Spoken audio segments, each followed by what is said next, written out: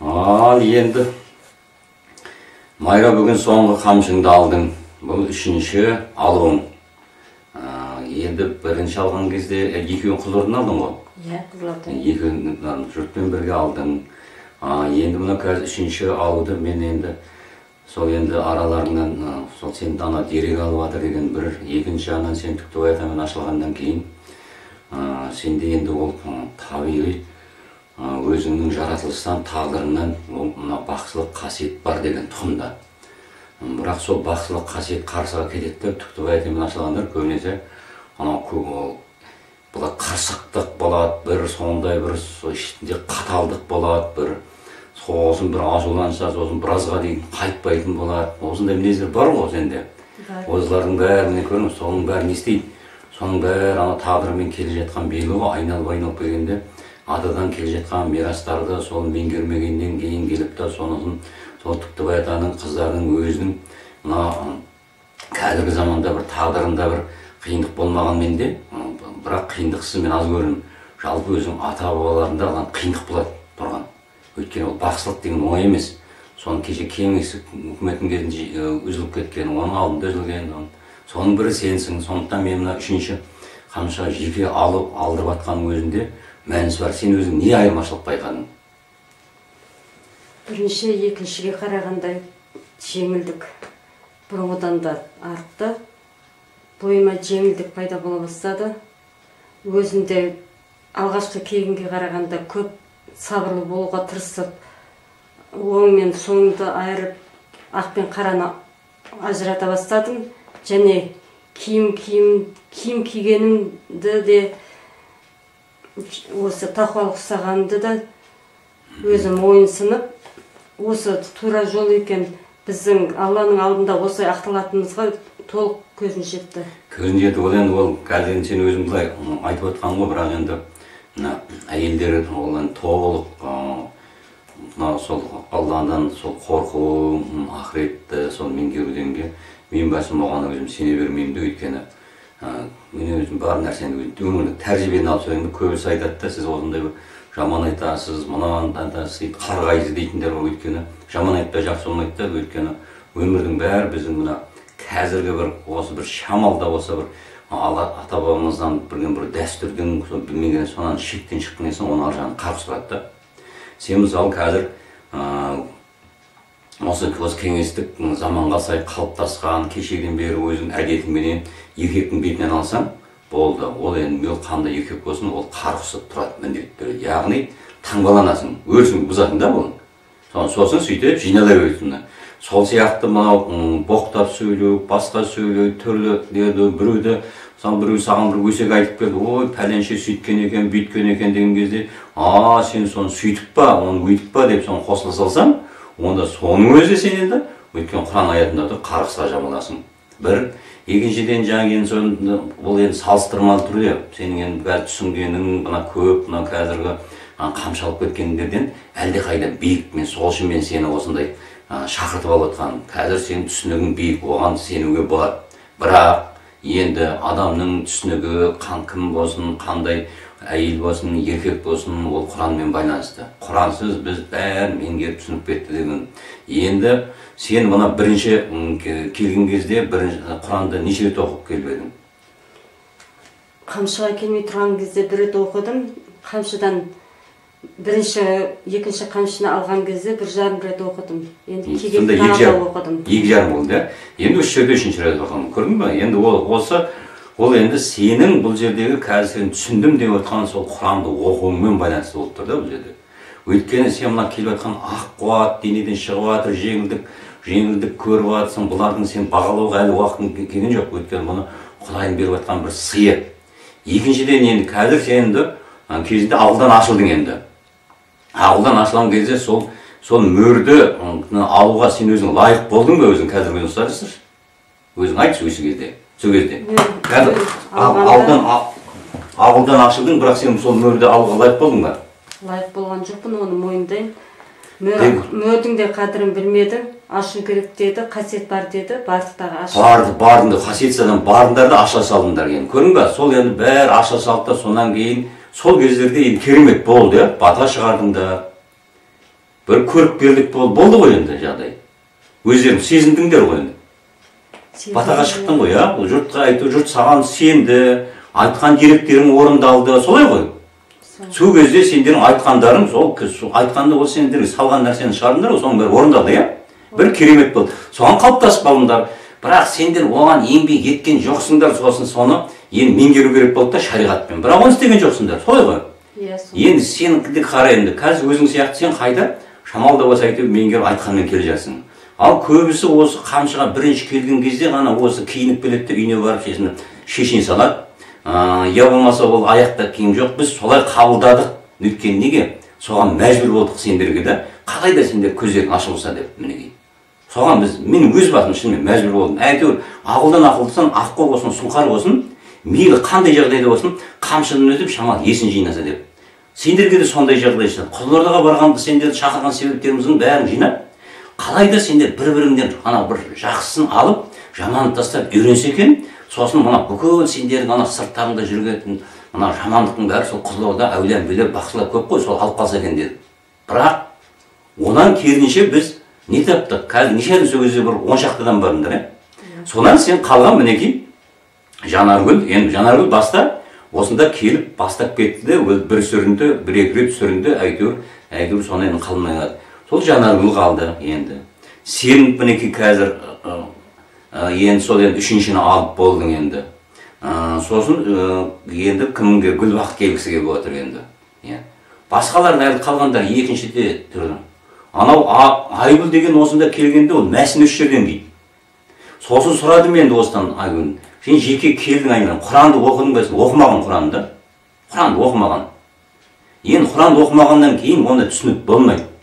Сосын оған қаншама түсіндіріп сен осы мына нені сақтамасаң сенің күйеуің тазаруда қиын барлық кілт сондай болады деп тұр бірақ қазір соның бәрін ол жартысында орындаған жоқ енді сөйтіп жатыр енді сол сол осындай аққулар сырттан менігін айтты анау біз бердік құрбандықты өткіздік әлі қайда дейді ол неге сендердің сол ақылдың кезіндегі сол әдетке үйреніп қалғансыңдар да алла тағала сендерге берді сыйды сондай бола береді енді.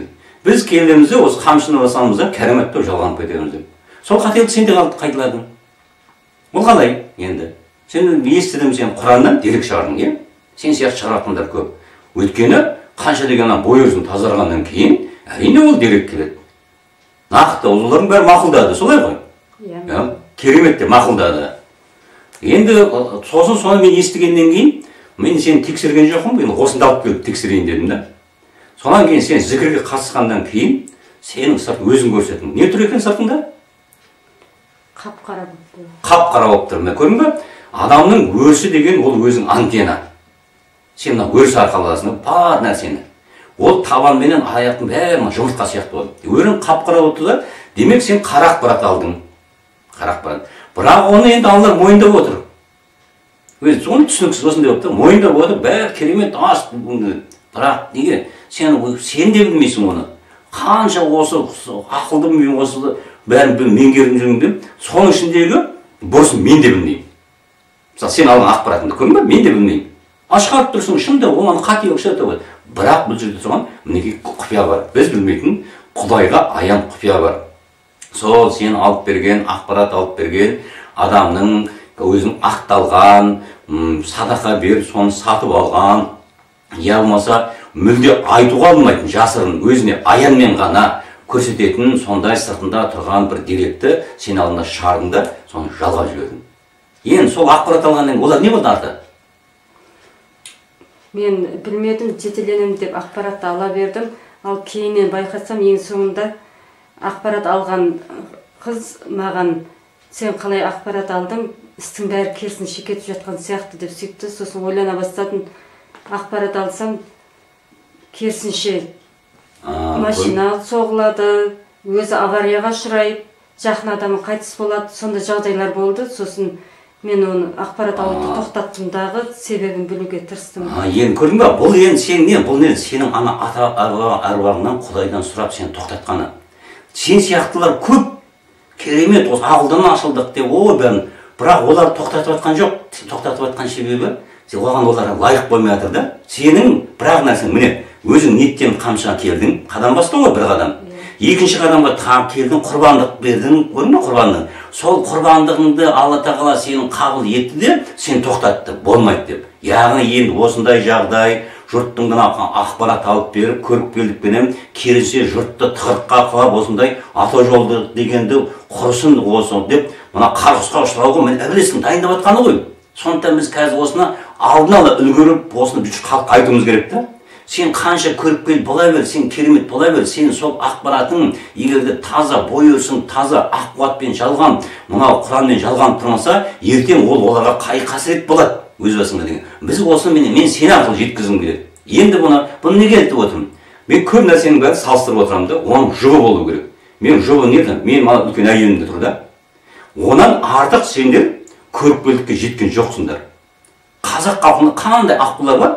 Сол қазір менің әйелім қалдыкөлден артық көріпкелдік дәрежеге жеткен бірде бір адам жоқ себебі неге мен нигерияға дейін анықтағандығым сен нигерия сендер нигерия қазақстан ішінде қателесесіңдер нигерияға дейін алып шошып кететін францияға нигерияға англияға қаншама мемлекеттерге мен сырқатпен ғой деппін осы почта арқылы. Нақты шықты. Нақты деректер шықты. Сосын енді алды кітапқа дейін ата жолын сол мына қалдыкөлменен қарлығаштан екі аққудың несімен сол дерегімен. Оларды үнемі бақылап отырдық. Ана қарлығаш да бай болды қаталдау сөйтіп отырып шықты бірақ соңына келген кезде неден басталды? Енді қара қазір сен енді құдай қаласа түбі ол енді ниет қылдың жалғанасың қайтадан бірақ енді бұл қауіп енді енді қауіп арта береді. Ол қауіп қандай? Мен әйелім бірінші тамақтан мен айттым мен тамақ саған болмайды өйткені келін білезік тақпайды жеңі ашық жүреді. Ол күнде ғұсыл дәрет алып жатқан жоқ тамақты бүкіл ыдыс аяқты былғап жатыр сен солармен бірге тамақ ішесің дегенде сен енді мен балаларымнан ажыратасың ба дейді бұл неге? Ертең сен де құдай қаласа балаң үйленеді немерелі боласың қызығың мінекей. Қызық басталады немереден қызық. Қызың күйеуге шығады құда жекжатты боласың. Бірақ енді сен сол кездерде сондай солардан тамақтан ба? Мінекей. Қиын. Сен де осыны айтасың мінекей. Өйткені өмірдің қызы ғой мінекей. Сен айтып қазір мына құдайдың ақыретті түсіндім мен енді деп. Көрдің ба бұл жерде енді соған сен осы сен дайындалуың керек. Ертең қиын. Енді қара сен енді осы ал мәсіні кидің жаулықты тарттың сөйтіп жүріп тағы қателік жібердің ғой. Қазір мен енді мойынды ора ора деп жатқан кезде соның көбісі алып та сол осы жерге келіп осындай болып келеді да содан кейін шешіп тастайды ол заңды. Кәдімгі былайша тарта салады қарлығаш та сөйтіп кетті. Жанар де сондай жасады кезінде. Мәсін шешіп тастау ол анау үлкен деген неде қызылорда аққу ана алтынкөлде де болды. Мен қалай келейін енді мынаны дегендей. Мен қонаққа баратынмын ғой мен. Деген. Мінекей осындай жағдай болды. Бұл ана кезінде айтқан кезде соларға айтқан кезде айтты біз не галош салбылдатып жүреміз бе? деп. Енді сен қазір соны сол салбылдатып галош киіп жүре аласың ба? Жұмысқа ал жұмысың бар басқа бар көшеде сол жүре аласың ба? Жаз күндері болса күн жылы болса былай қар басып кетпесе жүруге болады. Ал қыстыгүні мәсін сыртынан енді размер алып киеміз. Ал сен мәшінді шешіп көрдің жалаң аяқ не болды? Өзің айтшы не болды сол кезде қандай нені сезіндің? Сен сияқтылар көп қой. Ал көбісі сезінбейді. Сен сен сен сені сұрап жатқан сен түктіп айтамын мен бақсылық болғаннан кейін сенде ол нәрселер тез болады. Ал көбісінде оны байқалмайды білмейді ана қашан ана маңдайына тарс ете қалғанша жүре береді мен мәсі емес орамалымды осы отқа шейін тастамай түнде де өзі жамылып мойнымды жамылып жаттым бір күні енді ештеңе болмайтын шығар күреш дедім дағы.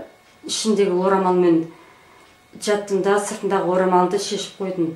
Сол кезде түнде қара күш келіп арқа жағымнан келіп мені қылғындырды? иә. Міне. Содан шошып ояндым дағы орамалдың құдіретін біліп қайтадан тәубеме келіп сымамды айтып орамалымды жауып сөйтіп жаттым. Қалай үстің бәрі жабық болады солай таңға шейін жайлы жатып жақсы тұрамын. Ал сосын бір күні тағы да өз өзімді тексермекші болдым. Енді носкімді шешіп көрейінші не болар екен деп ойладым тексеру үшін. Сөйтіп едім күніге оянып жүрген сағаттың будильнигі шырылдамай таң атқан кезде барып бірақ білдім ештеңе сезбеймін қатты ұйықтап қалғам. Ал бұрын жабық тұрған кезде сергек болып түнде екі рет үш рет оянып будильникті де сезетінмін. Сол жолы ештеңе сезбедім. Содан тағы да ой түйдім. Ашық жатуға болмайды екен. Қай жерің ашық болса сол азғырады екен деп міне көрдің. Міне көрдің ба ол? Сенің сол жер бұл неден пайда болды? Қазір бұл сенің енді саған ғана берілген ерекшелік. Осындай бұны кез келген аққу да кез келген мына әсіресе еркектер бұны сезіне бермейді. Сезіне бермейді. Өйткені оның бәріне бірдей берілмейтін қасиет қой. Соны не істеп отыр? Мен сенен сұрап отқаным осы сенен осыны естіп а сондай болады екен деп қалғандары соған бейімделу керек. Енді қара енді мынандай қазір енді сенде осыдан сен түсіндің болмайды.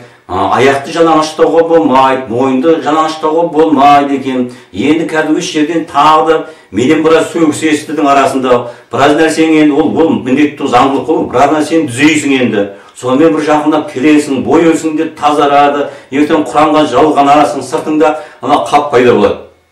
Білесіз қой сол уақыттарда енді мынандай жағдай болады. Міне мен өз басымнан өткен. Мен еркек болсам да менде бір сондай бір әйелдік бір нәрсе болды да сезімталдық сөйтіп жүріп маған кез келген жерге барған кезде маған ескертетін да күні бұрын ескертетін я болмаса белгі беретін. Жеме ана тамақты деп.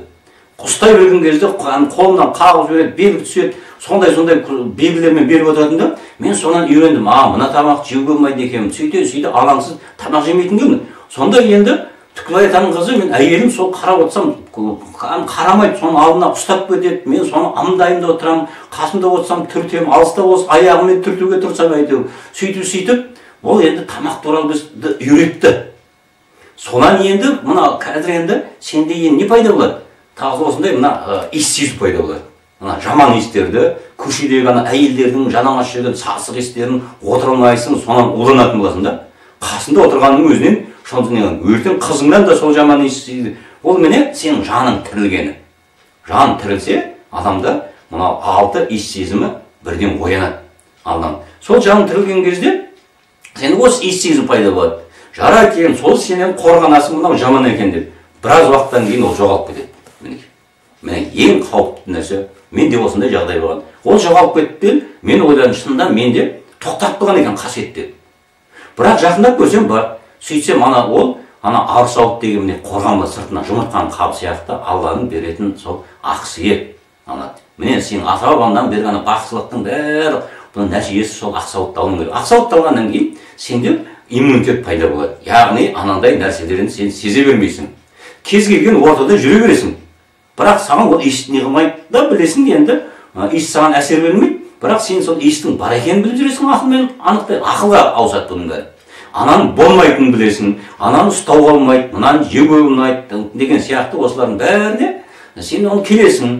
Сөйтіп жүріп енді бірте бірте байқамай ана бір жерден ақыл енді көрдің бе әйелдердің келсе бірден байқамай бірдеме жеп дәмін көре саласың сөйтіп кете беріп ішке жаймен жаймен ене береді да мен міне менің әйелім осындай қате болды. Сөйтеді да ішке еніп алады да біраз уақыттан кейін сен оған бұрынғы қалпың қайтадан келе бастайсың.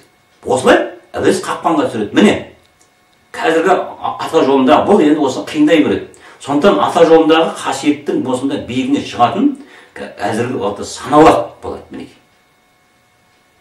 Соған енді сен оны неге айтып отырмын? Сен соған жарысуға дайындандың. Өйткені енді көрдің ба жұрттың бәріне мынандай сен сияқты шақырып алып сол сияқты мына жерін түзе деп ұрысып айтып сен сияқтынан бөлек мынандай болып жатқандар санаулы ақ та ертең гүлбақыт келеді сен келесің қалғандарын мен жолатпаймын. Міне сенімен болғанның өзінде де қазір қағида өзгерді. Бұрын осы үйде бұрында екі үш үш төрт адам болсын кеше көрдім ана құлдырды қанша адам болсын арасында жүре беретін енді қазір жүре алмайтын болдым. Көрдің ерні ұшқып шыға бастайды бірден. Неге? Ана маскамен дейді. Яғни демек бұл ібіліс бізбен бірге оны көтеріліп жатыр ғой қарама қарсы көтеріліп жатыр. Бұл ақылдың кезіндегі түгіл кешегі жағдайдың өзін ұмытатын уақыт болады мінекей.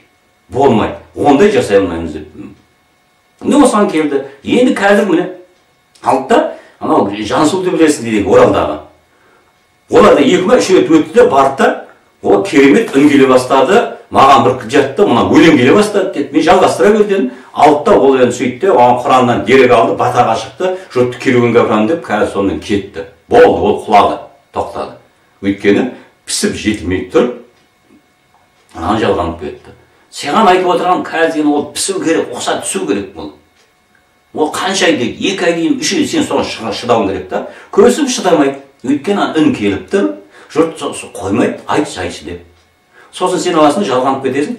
Ол жалғандың дегенше болды. Және сен қазір үйіңде енді нешінші этаж қазір? Үшінші этаж. Үшінші этаж көрдің ба екінші қабаттан аспау керек бір. Сосын ол ол ол бұндай бөлме міне көрдің бе? Қазір тазалығын міне. Біз сырттан келген бәрін аластап кіргіземіз. Дәретсіз адам бұл жерге кірмейді. Соны бұл жерде қайта қайта таңертең кешке зікір салынып отыр. Онымен бір ем жүріп жатқаннан кейін бұл жерде қандай болғанмен бөлек. Бұл жердің дәрежесі бөлек. Сондай жерде ғана жұмыс істесең ол кезде ары қарай кетесің. Жалғастырып кете аласың. Сондықтан мінекей мен сендерден бөлек бөлек жеке жеке алдырып отқан себебім сол да. Сендердің араларыңнан ең болмаса осы алматы жақты бір дүрілдететін аққулар шығады менің мақсатым сендерді бір жамандыққа емес керісінше бір биікке көтергім келеді да бірақ оның орнына мен өзім сол сендерден бір жылқабақтың орнына бір ашу ыза артынан әңгіме шығады да. Сол әңгімелерді айтып жүргендерге сабақ болсын деп мен сені осы жағдайды түсіріп отырмын да.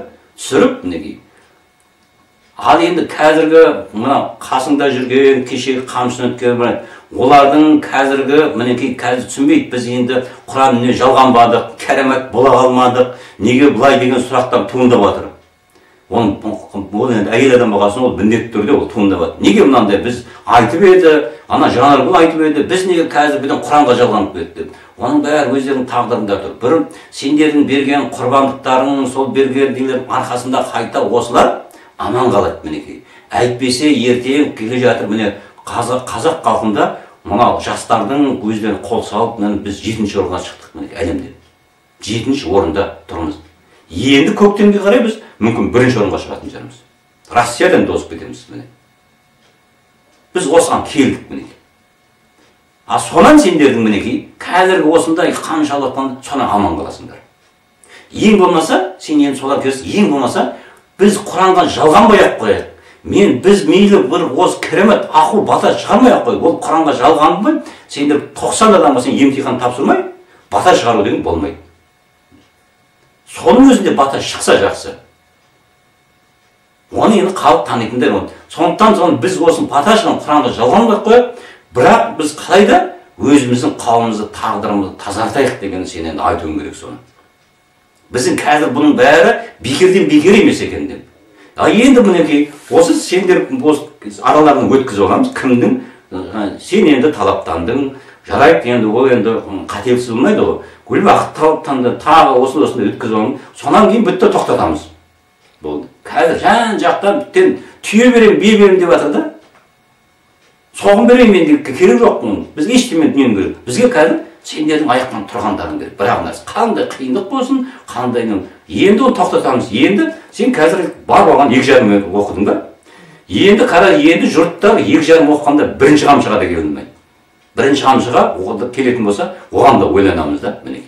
Міне біз осыған келіп тіредік енді шартты мен қоямын әзірге. Ертең қамшы ұстайтындар болар мүмкін өздері білсін қалай қамшылаймын десе қамшылай берсін ұқсат шығады. Бірақ енді құранға жалғану үшін енді шарт туған. Бірінші қамшыдан өту үшін сен әуелі жарты жыл кеп дегенде мәсіменен орамал бәрін әйел адам тарту керек екі адам сол басында көрсету керек сосын құранды мінекей бірінші ғана соң кем дегенде үш рет оқуың керек дегенді қоямыз. Екінші қамшыны өту үшін тағы қосамыз. Бес рет сөйтіп алты рет қоса береміз да он рет мінекей құранды оқымай және ол құранның ата жолын тағы оқуың керек оны оқымадың ба онда қамшыға келмейсің міне сендер қазір ұтып тұрсыңдар пайдалысыңдар көп жағдайда пайдалы мына қағиданы сендер өткізіп алайын деп жатырмын да ана неде қалып қоймаңдар деп енді екінші тағы мынандай сендерге қазір мынау құдайға тәуекел қылу әйел адамда өте бір енді сен өмірдің енді жаратылыстануға да байланысты қиындау құдайға тәуекел болу өйткені құдайдың беріп жатқан сол сезіну сендер үшін өте қиын сондықтан бұндай жағдайда бір ақ нәрсеге қалай да мейлі қандай жағдай болсын бір еркектің соңынан ермесеңдер қиын болады соны қалай да араларынан бір еркек бірақ еркекті дайындау тағы қиын сендер қазір ана аналық дәрежеде сендер ақылды болуларың керек еркектердің соның тәрбиесі өйткені еркек міндетті түрде әйел адам періліктен өтіледі міне сен қазір өзің кейін түсінесің а мен де пері болған екенмін деп пері болмай сен қасиет меңгере алмайсың шынында менде перілік көп болған екен ғой сөзімде де тілімде де ісімде де деп ертең соны сен өзің сол қателігіңді таппай өсе алмайсың артыңа қарап жоқ мен бәрі керемет болдым ешқандай мен ешқандай бір қателік жасаған жоқпын деп жаңағы өзіңді өзің ақтайтын болсаң оны құранға қарсы шығасың өздеріңді өздерің ақтамаңдар деген. Құранда ашық айтқан. Сендер өздеріңді өздерің ақтамаңдар құдай ақтайды сендерді. Сондықтан біз қай уақытта біз әлі о дүниеге өтіп алланың алдына өтпей біз күнә жасаған жоқпыз біз тап тазамыз деп айтуға хақымыз жоқ. Сондықтан қалай да жағдайда сен өткен өміріңнен қателік тауып ал. Қателік таптың ба? Онда өсесің. Таппадың ба? Онда сол жерде тұрасың солға не алға басудың бірақ амалы сол өзің өзің бұрынғы өзіңді өзің жазғырды отыр. Өзіңді сол күнә қателігіңді нақты тауып отыр мына жерде мынандай қателік жіберген екен. Мына сөзім дұрыс болмаған екен. Мына жағдай деп осыны енді бұл сен өзің сен, сен арқылы сол жұғады сыныптан басқа сен қасында ғана кешегі сол алматыдан келген сол топқа да үйретулерің керек бастан қосылуларың керек міне. Жиналыңдар айтыңдар кімдікі дұрыс кімдікі бұрыс деп. Ана өзіне күнә жасап мені жаңағы қарған деп өзіне өзіне ана бұрынғы қарғысына өздері жалғанып жатқандар бар мен соны естіп сол шылдап отырмын да. Маған бәрібір құдай мені өзі ақтаған. Сендерге қызмет жасау үшін. А қалған ақтауы мен өзім шаруам да. Мен де бір жетісіп отқан жоқпын. Менің де алдымда әлі қаншама өмірім бар. Менің де қаншама ағайын туғандарым бәрі сол қалпымен жүрген. Әркім өзіне қызмет жасайды. Міне осыны біз келісіп алайық мінекей қазір үшінші қамшыдан өттім. Енді бұл үшінші қамшының міндетті түрде сынағы болады. Сынақ жаңа басталды. Ол қандай? Өзі мені қамшы бетіңе тиіп кетіп еді. Қап мен жұмысқа бара алмай қоюым ба дедім. Мына ол әруақ қарап тұр ғой әруаққа сенің басын шайқады. Саған сенің сонда жұмысың қымбат па әлде осы мына тағдырың қымбат па деген сауал бірден сарт етіп шыға келді да. Міне осы сөзден енді тағы сыналасың өз тіліңнен тауып алдың да. Ол сыналасың міндетті түрде. Соның енді оны жеңілдігін сұрауың керек. Алла тағала менің тілімнен қате кетті деп тәубе сұрасаң мүмкін оны алла тағала кешіріп жібере салады. Ба біз кішкентай нәрсені сол тілімізден ісімізден тауып отырамыз. Саған қазір осы беріп жатқан нәрсенің бәрі ол ешкіммен сен өзіңе ғана керек. Сен ғана ертең балаңның бақытты болуына қызыңның вот мінекей барған жерінде баға ашылуына міне ол саған міндетті түрде байланысты. Күйеуінің басы көтеріліп қазір саған жәрдемші болуға мінекей сол саған өзіңе байланысты. Сондықтан қандай жағдайда болсын өзіңді ғана кінәла мінекей енді қағида салыстырып көр.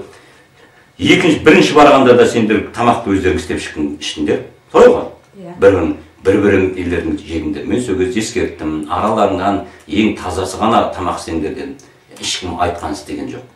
Екінші барғанда тіптен ара қостыңдар.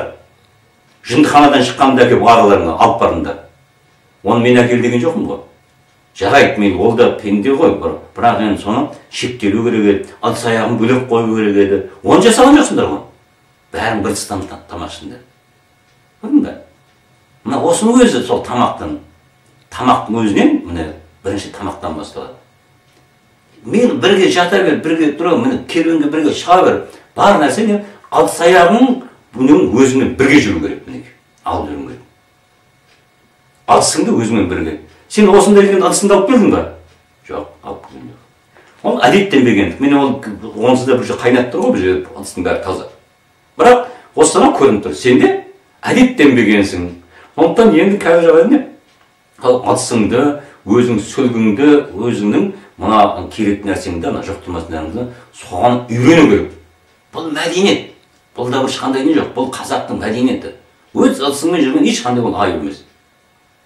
Тек қана өз ыдысыңменен өзіңнің заттарыңмен ғана жүретіндей болып соны үйрену керек. Қайда бар мейлі кім болса ол болсын қайда бар керуенге шығып сонда сен алла тағала сенің ниетіңе қарай қорған салып отырады.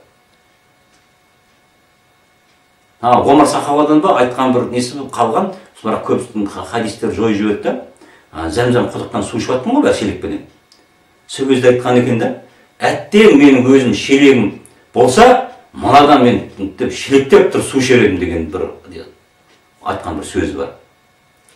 Көрдің ба? Соны ылғи сахабалар ғой. Соны бір шелектен су жатқан әттең менің шелегім болса мынадан су ішер едім деп.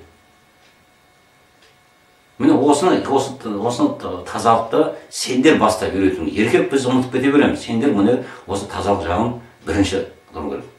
Қазір үйіңде де сен енді балаңменен қалай енді бөлектенесің? Ну қиын.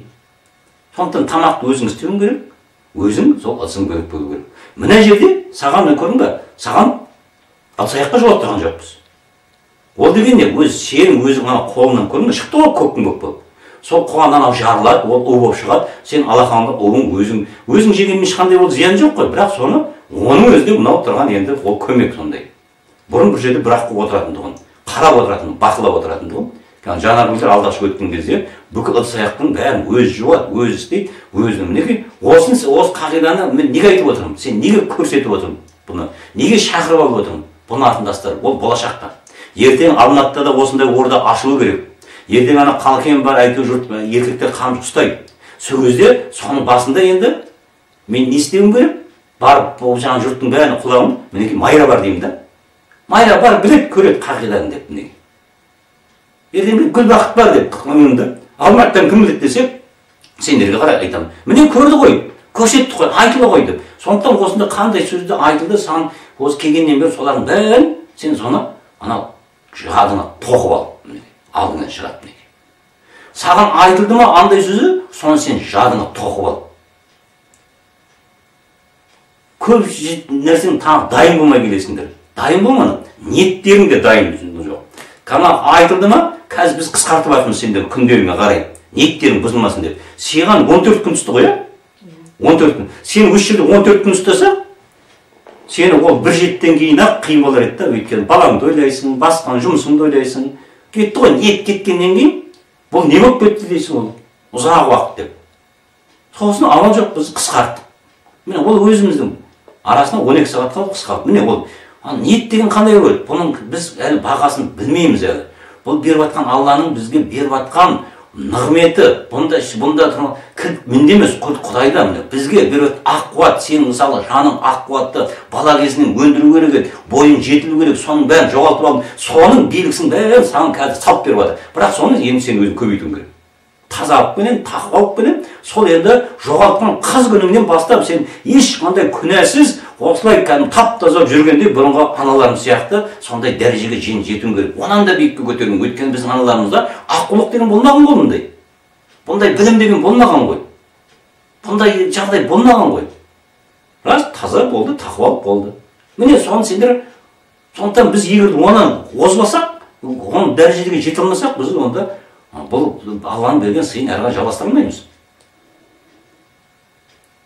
сенің тұқымыңда жоқ бұндай аққулық жоқ қой болған емес менің тұқымымда жоқ дәл осындай жағдай болған шығар бақсылар бар көп бірақ дәл осындай дәреже болған жоқ сол сияқты кез келген қазір ауылдан мөр алып алып сайрап жүргендер ешқайсысының тұқымында жоқ бұны алла беріп отыр міне осыны ұмытпайық құдай бізге беріп отыр сыйлап отыр енді осыны енді кім тұқымында мирасқа қалдыра алады ол белгісіз. Егер де осыны берсем ертең сен осы қасиетің қызыңа тарайды. Ертең осы сенің кейіл қайденің топырағыңа келініңе қонады. Ертең сен соған немерелеріңе тарайды да міне әжеміз болған екен осындай деп ақманат деп міне мирас деген осы. Сен соны қазір сол сыйдың сен сол кілтін ұстап отырсың. Ол сол кілттің енді сен соны әрі қарай құлпын ашып сол сол сарайдан сен өзіңді ала аласың ба ала алмайсың ба? Ол енді сенің еңбегіңе. Енді алдың кезінде сендер берді ешқайсың еңбек еткен жоқсыңдар қайта пайдаланыңдар шаштыңдар төктіңдер енді соны қайтадан жинаңдар еңбек етіңдер. Дәл сол дәрежеден онан да жоғары дәрежеге шығасыңдар. Бұл жалғыз саған емес. Осындай қазір мен тыңдап отырған осы аққу бұл сұңқарым деп. Сосын мынандай тағы жағдай бар. Кеше ана өзінде сайтта оқып отырсың осында келді үлкен кісі кезінде маған да келген сол алпыс сол кілтті мен сұңқармын деді ана ержанға сұрақ қойды сен сұңқарың жоқ деді болды сонан бастап басталды сен сұңқар емес болсаң неге маған әңгіме айтып отырсыңдар деді көрдің ба ол ана сұңқарлығын әке баба сатып алып берген деп отыр да сондықтан еш жерде мен аққу едім мен осындаймын дегенді мына меніңді артқа жіберу керек қасиет алдында тұрсын қасиет алдында тұрса сен сол қасиетке тағзым жасап жүресің да еңкейіп. Ал менің алдыма шықса онда көкірегін кересің міне осы жағын барлығына да айт болмайды. Мен аққу едім деп жүрген жерде мен пәлен едім дегенді айтуға болмайды. Мен құраннан мен осы дерек адам деп мақтануға болмайды. Мен бата шығарамын деп мақтануға болмайды. Себебі оны құдай беріп тұр да. Құдай бермесе қай жақтан шығарасың сен себебі бұл қасиет бұрын болмаған құдай беріп тұр бізге қазақ халқына. Міне осыны нақтап кәдімгі жадыңа тоқып ал осыны. Сонда ғана сен мінезің жұмсақ болса әйтпесе мына түктібай сендердің қыздарда қырсықтық бір қаталдық бар да сендер ию қиын да бір жатқан бір сосын содан кейін енді осының бәрі кеше алақандағы неге шығып тұр сенде оны бірден ақ түсіндім ол деген сен өзің біреуге ашулансаң сол ашу бір ай ұстап жүресің да. Анау ашу алақаннан шықты. Яғни сен сол алақандағы тамақпенен сен балаңа зиян тигізгенсің сен қызыңа зиян тиген сен ол сол кеше шықты міне өзінен өзі сондықтан не болу керек? Әйел адамның нәрсе кеткенше дейді ашуы соны ашуыңды не қыл? Кеше де көрдім ана қамшыдан ашуланып едің соны тоңқылдап кешке дейін жүріп дұрға дегенде кетті да өзінде. Соны жеңе білу керек. Міне ашу сенде тұрған ол не қылатын болса ертең оның бәрі айналып келгенде ертең дұрыс қазір шығасыңдар. Бұл сендерге қазір беріп жатқан жеңілдікпен сендер құранға жалғанасыңдар шығасыңдар. Бірақ бір уақыттар келеді сендер қайтадан тоқтатамыз да. Қазір мына біз теріс деп жатырмыз ғой. Анау аралдан ашылғанда аққу емес анау да аққу емес үн жоқ деген сондай заман тағы келеді мінекей тағы бір кезең көтерілген кезде. Сендердің араларыңда ол бітті мыналар дұрыс емес енді. Бұлар төменгі топ деген қазір сол заман келеді сондықтан осы бастан дайында ешкімге ашуланбай үйрен а болмаса қиын ал егер де мінекей сенің қолыңнан тамақ жемейтін болсаң міне қазір мен барометрмін осының өзінде мына міне ұшақ шығып өйткені ол осы тұрған үйдегі иістен болып тұр маған шабуыл жасап жатқан егер де мен сенің қолыңнан тамақ іше алмайтын болсам онда жұмыс істейсің қалпыңа бірақ мен сенімен жұмыс істемеймін өйткені сендер дерек дұрыс емес деген неге? Ертең осының кез келген ақпақтық меңгерген еркектер солай болады. Тамақтан сенің қолыңнан тамақ іше алма демек майраның айтып жатқан дерегі дұрыс деп. Сенің енді қара маған мынандай кезінде түсті. Мен әйелімнің өзіне кезінде бір күні қарасам тамақ ащы ащы болып тұр тұзды көп салған екен дедім да күлдім де мұздатқышқа апарып қойдым. Ертең көреміз деп. Енді мұздаған кезде мен білетін тамақтың басқа дәмі өзгереді. Мұздаған кезде. Сол ана тұз төмен отыра ма сондай бірдеңе бар. Енді мұздатқан ертеңіне көрсем онан сайын ащы болып тұр да бірден үстіне қойдым. Айттым сен кімге ашуланып жүріп маған тамақ істедің дедім да. Ашуланған жоқпын жоқ сен болмайды деп тамағын сөйтіп барсам соны бірден маған хабар келді бес уақытын намазын толық орындамаса оның қолынан тамақ ішпе а ой онысы бұзылады екен ғой намазбен деп мен сол кезде түсіндім содан кейін мен біраз алты ай ма бір жыл ма әйелімнің қолынан тамақ ішпей қойдым сен әуелі намазың дұрыс деді өйткені немеремен жүреді ұйықтап қалады қойшы дейді ертеңге қалады мінекей оны неге айтып отырмын ертең сендердің де бастарыңа келеді бәрінде әйтеуір балдарың бар ғой балдарың бар құдайға шүкір болмаса бол, болмайтындарың болады міне сондай уақытта намазды үзіп әйтеуір сенде намазға деген жауапкершілік бар екен ол да жақсы. Намазды үзіп егер де осындай үнсетін болсаң бәрібір сенің мына өрісіңді алақаныңдағы осыны білетін ертең еркектер көбейеді. Осыған біз келіп тірелдік мінекей осыны енді мен саған айтып жатқан қысқа қысқа жалпы бір қағидасын айтып тұрсың енді әрі қарай жалғастыр құдай қаласа мүмкін төртіншісі қамшы болар мүмкін бесінші қамшы болар. Өйткені жеті ол міндетті түрде жеті кезеңнен жеті қамшыдан тұрады. Сен қазір осы үшінші қамшының өзімен төртінші үнді меңгеріп кетіп сосын кейін тазарып барып төртіншіден бесіншіге өтесің сөйтіп сөйтіп отырады. Осында ақылдар солай жасап жатыр ол? Енді оны енді қалай болады көреміз оны. Дұрысы енді қазір мен саған бұны айтып отқан алматы қазір енді жанаргүл немерелерімен анандай жағдайда оған көмек керек. Сен сон жанаргүлға көмек беріп сен қалай да алматыдан біз бір орда ашуымыз керек міне. Соның ордада осындай енді енді енді мен ордаға барған кезде тағы мен өз тамағымды өзім істеп ең болмаса тығылып жүре алмаймын қашыңыз сондықтан сен мұны айтып отқаным сен сол дәрежеге соны меңгеріңдер. сен бұлар жанаргүл бар әйтеуір. сондай сонда мен сендерге сеніп құраннан ақпаратты аламын. сендермен жұмыс істеуге болады. құдай қаласа қалкеннен жақындап қалды қай күні рұқсат түседі сол күннен бастаймыз. сол күннен бастап сосын біз сол алматыдан орданы іздейміз.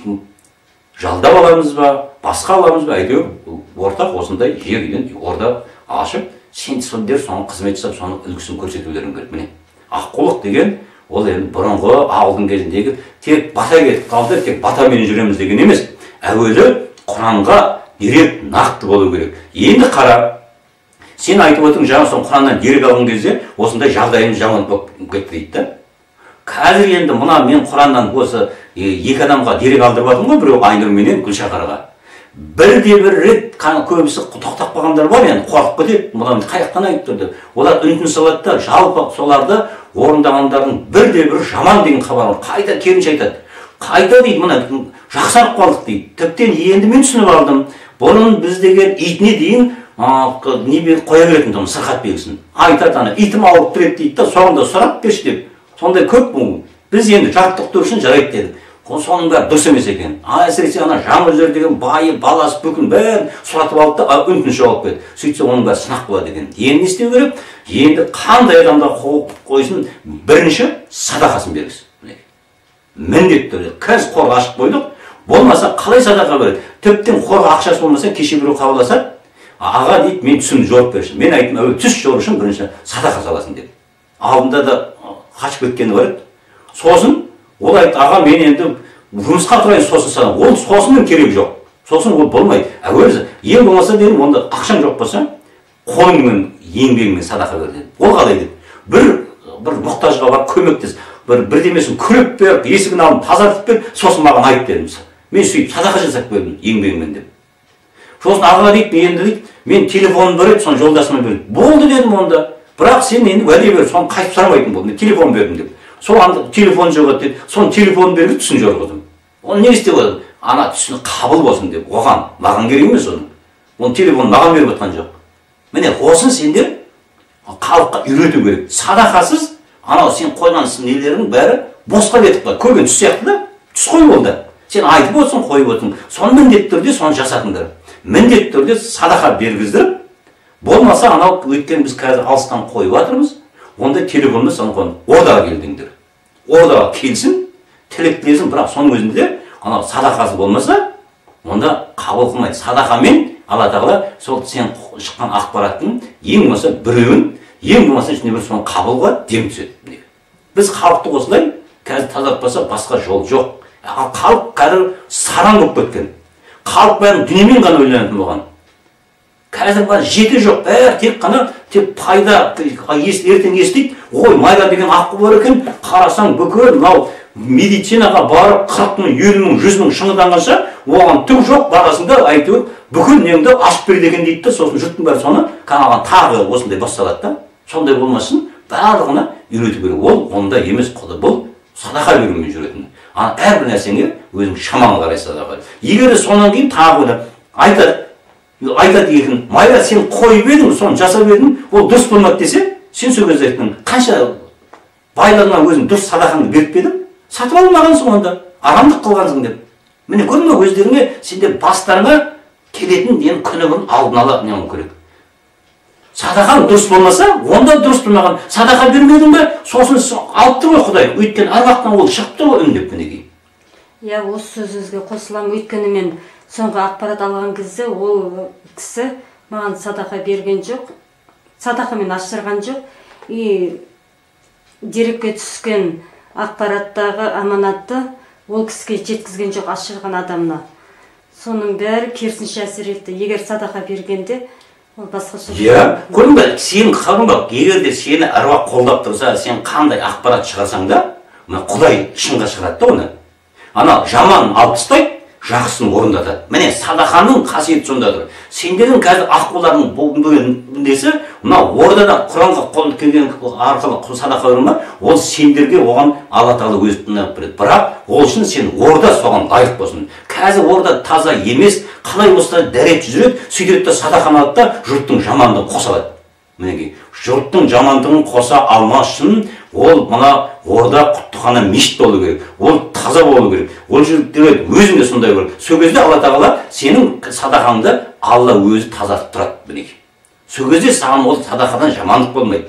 Садақадан қазір ана берген адам емес алған адам жамандыққа түсіп қалуы мүмкін. Сондықтан осы жағын тағы да ескертіңдер мінекей жүрген жерлерінде айта беріңдер айта беріңдер сұрамшақ десін мейлі бұлар ақшамен өзін бірақ кейін өзі түсінеді сендер үшін саған нәтижесі сауап қой.